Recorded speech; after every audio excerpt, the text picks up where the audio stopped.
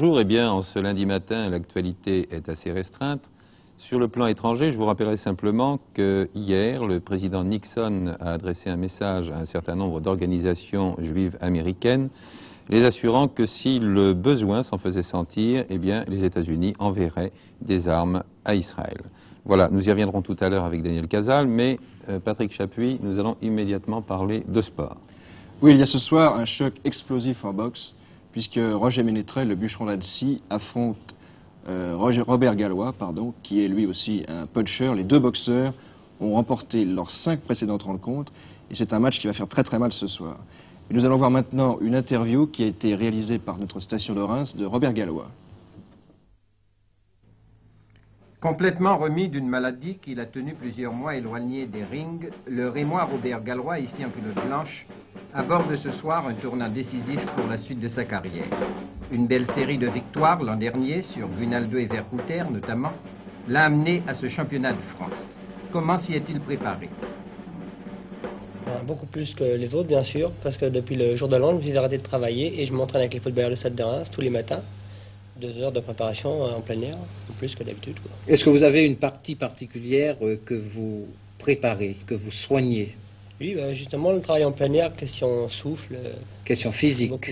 oui, effectivement, il faut signaler que ce match se déroulera en 15 rounds. ça.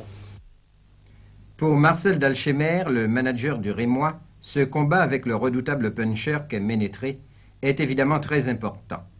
Mais sa confiance va bien au-delà de ce championnat. Le championnat de France, c'est la première grande étape. C'est celle qui permet, en cas de réussite, de penser au championnat d'Europe. Et nous savons que le combat contre Ménétré est plus difficile et plus dangereux que celui qu'il aurait par la suite à disputer pour être champion d'Europe. Quand euh, un boxeur rencontre un puncher, on pense tout de suite qu'il faut être prudent. Euh, prudent, il le sera, mais pas généralement ne sera pas exagérément parce que s'il ne prend pas de risque, il ne peut pas prendre de titre. Où a lieu ce match, rappelons-le Oui, ce match a lieu ce soir au Palais des Sports. Bien, nous allons parler automobile. Maintenant, il paraît que Henri Pescarolo fait des essais éblouissants. Oui, éblouissant à Daytona, en Floride. Éblouissant et un petit peu émouvant. Vous savez que samedi prochain à Daytona, il y aura les 24 heures de Daytona. Il y a deux Matra 650 qui sont engagés. Et Pescarolo, qui avait déjà euh, l'an dernier euh, détruit une voiture aux essais, a cette fois eu quelques difficultés avec sa nouvelle machine, puisqu'il a fait un dérapage assez extraordinaire en sortant de virage. Il a fait plusieurs tours, une dizaine de mètres de dérapage. Il s'est immobilisé juste devant les tribunes. Malgré tout, l'équipe Matra est très satisfaite parce que ses essais ont donné d'excellents résultats. Pescarolo a même battu le record du tour qui appartenait jusqu'à présent à Vic Elford, le Britannique, qui avait fait ce record sur une Porsche 908. Il a réalisé 197 de moyenne sur un tour. Jean-Pierre Beltoise va bientôt repartir pour rejoindre Pescarolo sur place. Mais avant de partir, il a essayé la nouvelle Matra. Elle s'appelle la M120. C'est une Matra qui sera essayée en Afrique au mois de mars et qui a un moteur V12 qui développe 430 chevaux. Bien. Encore des nouvelles en ce qui concerne l'automobile, je crois que c'était important à dire, ça intéresse les spécialistes finalement. En ski, aujourd'hui, ce matin, les obsèques de Michel Boson, ce nous matin, en parlons. les obsèques de Michel Boson qui ont été célébrées à Chamonix. Une immense tristesse, un profond recueillement ont accompagné le jeune skieur, foudroyé en pleine course. Mais le sport continue. L'équipe de France se prépare pour le Candar. Candar qui sera la dernière épreuve avant le championnat du monde de Val Gardena le 7 février. Et deux bolides de l'équipe de France ont été mis au repos. Bernard Ancel et Henri Duvillard ont tous les deux des petits ennuis, des petites entorses. Et ils ne participeront pas à ce Candar. Mais René Sulpice a sélectionné, euh, parmi les trois possibles pour euh, Val Gardena, il y aura Jean-Pierre Auger, Rossa Mignot et Jean-Luc Pinel qui participeront à cette compétition du Candar. Euh, pour finir, nous proposons des images qui sont un peu paradoxales en cette saison. Il s'agit d'images qui évoquent déjà l'été, puisque nous allons assister au championnat de France de plongeon que nous commande Pierre Fula.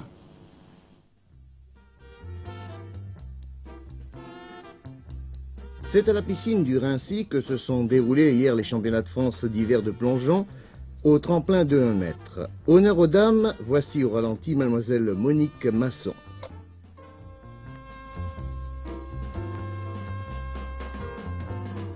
Cette jeune et ravissante lyonnaise s'est imposée dans une discipline qui exige beaucoup de maîtrise et de grâce.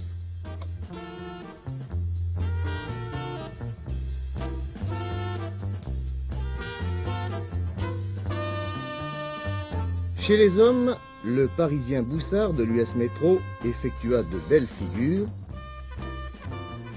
Mais le titre ne pouvait échapper hier au champion de France de haut vol, Jacques Deschouvert, 22 ans, de Colombes, ici dans un plongeon ordinaire arrière droit. Deschouvert est notre meilleur espoir français pour les prochains championnats d'Europe. Voilà, nous avons commencé ce journal par des images, euh, disons, de détente, si je puis dire. Maintenant, nous allons arriver au sujet un peu plus sérieux. Sérieux simplement parce qu'il vous concerne et qu'il nous concerne tous directement. Il s'agit, Daniel Casal, pour commencer, de cette grève des stewards et des hôtesses d'Air France. Où en sommes-nous? Eh bien, aujourd'hui, les stewards et les hôtesses d'Air France sont en grève et le mouvement est suivi à 70%. Le, plus de la moitié des vols moyens courriers ont été annulés. En revanche, les vols long courriers sont tous assurés normalement. Les hôtesses et les stewards d'Air France seront en grève également mercredi et vendredi.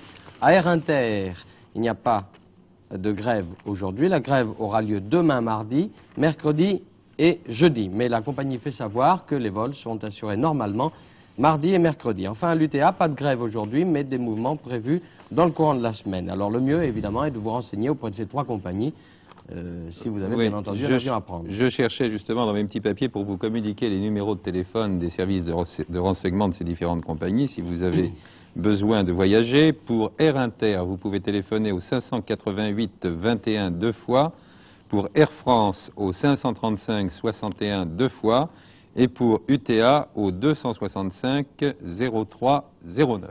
Voilà. D'autres informations Oui, l'un des trois bateaux de pêche qui était qui avait disparu depuis jeudi, euh, au moment de la tempête qui s'était déclenchée dans la mer d'Irlande, eh bien, l'un des trois bateaux de pêche a été retrouvé. Il s'agit du Portzik, un langoustier de 25 mètres, qui est entré ce matin dans le port espagnol de Vigo. Il était en panne de radio, c'est ce qui explique qu'il n'ait pas pu se manifester. Et l'on espère que c'est également une panne de radio qui a empêché les deux autres chalutiers bretons, dont on est sans nouvelles depuis jeudi soir de se manifester également. Quoi qu'il en soit, les recherches se poursuivent pour essayer de retrouver ces deux chalutiers bretons. espérons qu'on aura la surprise de les voir arriver eux aussi dans un petit port breton sain et sauf. Un autre sauvetage dans un autre domaine en montagne.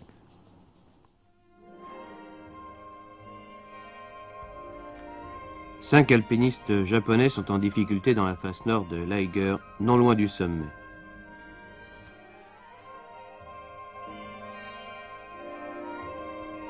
Voici les cinq hommes avant leur départ. Après avoir franchi un passage glacé en forte pente appelé l'araignée, ils avaient amorcé l'escalade des falaises du couloir de sortie menant au sommet de la face nord lorsque dimanche, l'un d'eux a fait une chute de 35 mètres et s'est fracturé la jambe. Le sommet n'était plus qu'à 170 mètres.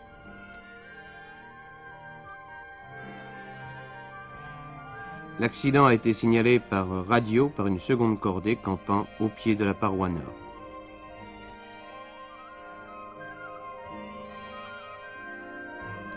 Les services de secours suisses ont immédiatement tout mis en œuvre pour venir en aide aux cinq hommes immobilisés dans les falaises, balayés par le vent.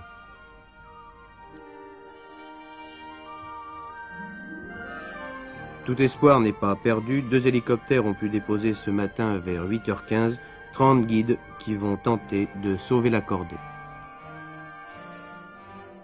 Avant d'en arriver à notre chapitre étranger, je voudrais vous signaler que demain soir, au cours de notre édition de 19h45, M. Chaban-Delmas, notre Premier ministre, répondra aux questions de Pierre Desgroupes. Et maintenant, Daniel Casal, le Moyen-Orient, par le biais du président Nixon. Oui, c'est ça. Le président Nixon, vous l'avez dit en titre, euh, le président Nixon a déclaré si le besoin s'en fait sentir, les États-Unis sont prêts à envoyer des armes à Israël. Eh bien, c'est ce qu'il a dit à un groupe d'organisations juives américaines. Les Américains, vous le savez, sont préoccupés euh, par l'équilibre des forces en présence au Moyen-Orient. Ils estiment que cet équilibre risque d'être compromis par la vente de mirages français à la Libye. Et c'est pourquoi ils se déclarent prêts à fournir une aide militaire à Israël, notamment en vendant des avions fantômes. Ce matin, l'hebdomadaire américain Newsweek affirme que les Égyptiens sont chez eux en Libye. Selon Newsweek, qui dit tenir ces informations des milieux gouvernementaux tunisiens, quatre bataillons égyptiens sont d'ores et déjà stationnés en Libye et le gouvernement libyen aurait demandé au Caire d'envoyer 30 000 familles égyptiennes s'installer dans les territoires inoccupés de Libye. L'aviation israélienne continue ses sorties, elle, je suppose. Oui, l'aviation israélienne, et ça c'est sur le terrain, a bombardé pendant une heure ce matin des objectifs militaires égyptiens le long du canal de Suez et tous les avions israéliens sont rentrés sains et saufs. Un visiteur de marque à Istanbul, pour commencer, puisqu'il va se rendre à Ankara bientôt. Qui est-ce? Oui, euh, Monsieur Dubček. Monsieur Dubček, donc voici la photo au moment de son arrivée à Istanbul. Vous savez que Monsieur Dubček L'homme du printemps de Prague a été nommé ambassadeur de Tchécoslovaquie en Turquie. Eh bien, en partant hier soir de Prague pour la Turquie, c'est un peu le chemin de l'exil que M. Dubček a pris. Voilà, eh bien, je crois que nous en avons terminé avec euh, les informations de cette matinée. Nous entrons dans notre partie magazine. Et Claude Manuel s'est rendu à Chartres euh, pour euh, examiner de plus près un parking très particulier et qui pourrait servir de modèle à beaucoup d'entreprises.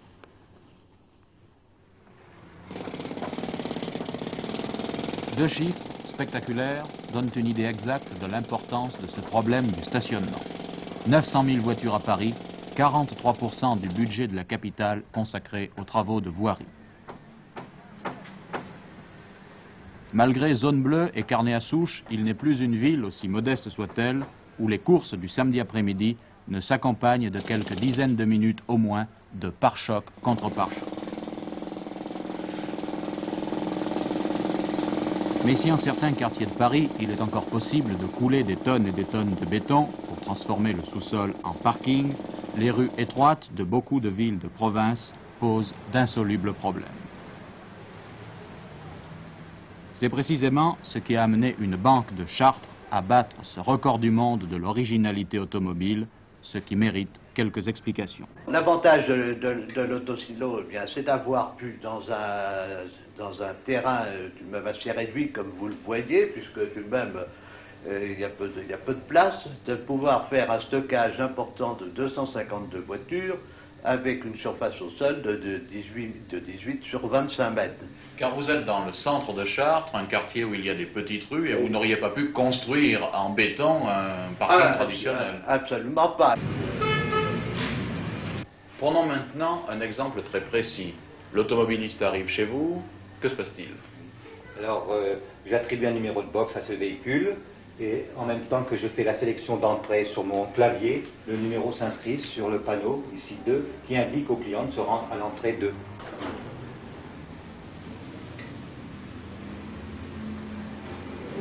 Dans chaque, euh, dans chaque cage, il y a une tour dans laquelle se trouve un ascenseur, et dans l'ascenseur, un chariot, qui est lui autonome.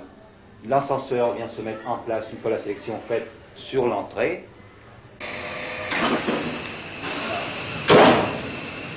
Le chariot, les portes s'ouvrent, le chariot sort, prend la voiture en charge en la soulevant par l'arrière et la roule dans à l'intérieur de l'ascenseur. À ce moment-là, les portes se ferment et l'ascenseur va directement au box qui a été sélectionné.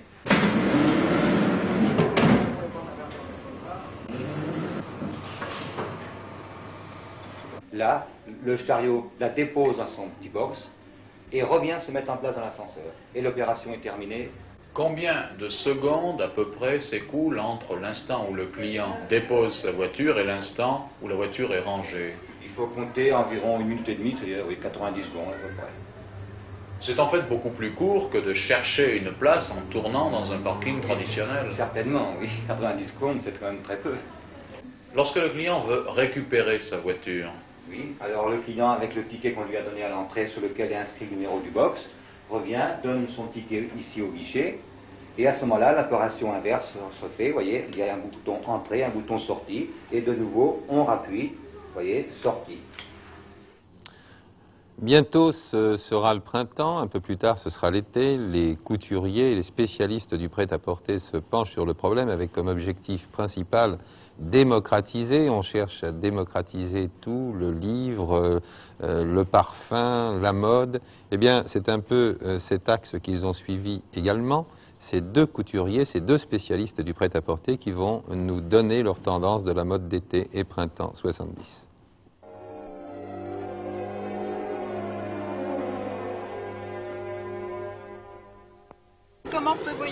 Avance la mode Eh bien, pour, cet été, justement, euh, je crois que la question sera, sera un peu réglé pour le court et le long. Je crois qu'après après l'hiver, on aura très très envie de court, mais aussi pour le plein été. Alors le soir ou le bateau, on portera aussi du très long et du très large. Et les coloris les coloris, contrairement à, enfin, en contraste avec l'année dernière qui était très pastel, je crois que cette année, ça sera assez foncé. C'est des coloris qui sont très, très agréables, très jolis quand on est bronzé.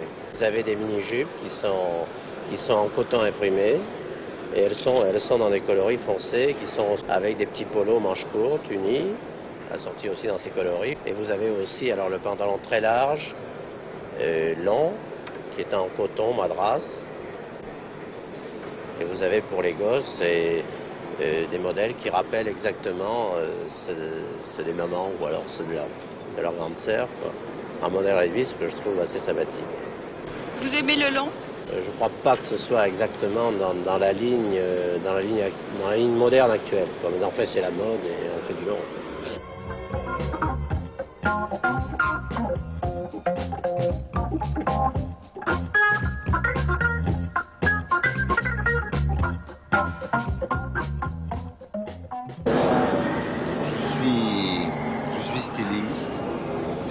De. J'ai constaté que les femmes avaient grandi de plus de 5-6 cm, que leur carrure s'est élargie, les femmes n'ont pratiquement plus de poitrine, beaucoup moins de poitrine, enfin les jeunes euh, de 20 ans par rapport à des filles de 20 ans il y a une trentaine d'années, euh, elles sont plus longues de hanches et plus plates. Euh, les enfants, ils sont beaux on peut leur mettre n'importe quoi, on peut exagérer, on peut, peut laisser libre cours à, son imagination quand on voit des enfants. Donc, euh, euh, une collection d'enfants, c'est vraiment un plaisir de la faire. Voilà, je vous souhaite un bon lundi après-midi et je rends la parole et l'antenne à Jacques Martin. Au revoir.